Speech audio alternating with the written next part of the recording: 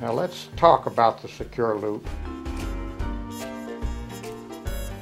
A secure loop is again your high strength webbing, but with an extra little sewing pattern here. This one sewing pattern is what permits us to obtain a patent on this. You have what you call uh, quick straps, which are made without that sewing pattern, and they are make it convenient to have something to take hold of, but once you take the strap off or the belt off, why then they don't stay there.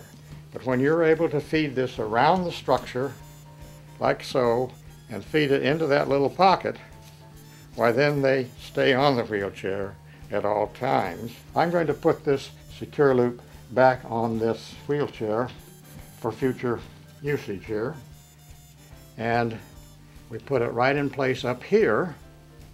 And although you don't necessarily have all parts welded and they're snap-in-place items, when you put something like this on of 6,000, doubled 6,000 pound webbing, and you load that up, you're gathering it together, just, um, just like a weld. When we install the secure loop at this point, up here as high as we can on the wheelchair, then by mounting the belt to that wheelchair loop, you more closely approximate the 45 degree ideal angle in your belt system to force the wheelchair onto the floor of the vehicle and thus the largest component that they're capable of doing, except bolting to the floor, of course, with a wheelchair, which we can't do. That's the purpose of the secure loop.